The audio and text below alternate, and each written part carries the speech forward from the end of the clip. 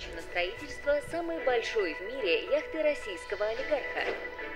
Зарплаты федеральных чиновников выросли до 500 тысяч рублей. По данным статистики, 20 миллионов россиян живут за чертой бедности.